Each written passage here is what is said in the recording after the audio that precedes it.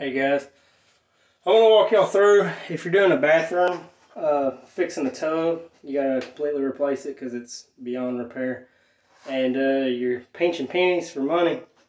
You have to buy one of these cheap uh, plastic tubs.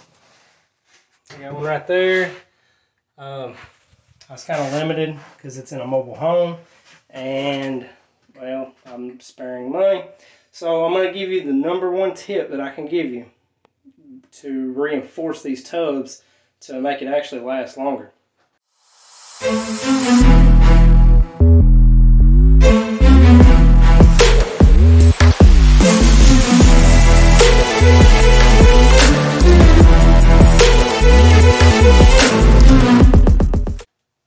So, front, here's the face of it right here.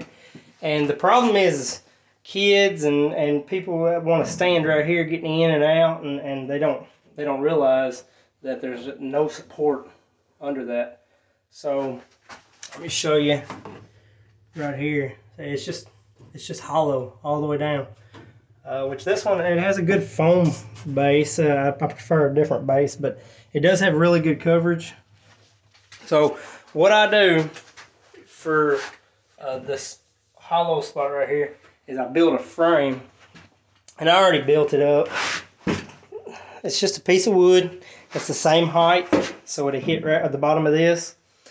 Uh, I mean, it's a pretty simple design.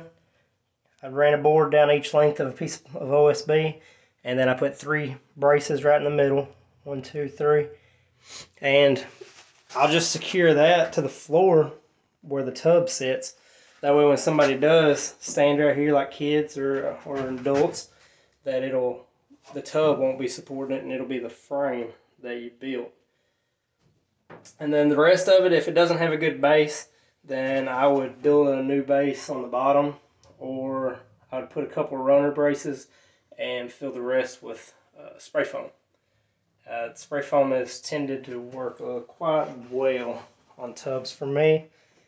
And but like I said, the one I had was beyond repair, so I just completely busted it out and went and got a different one.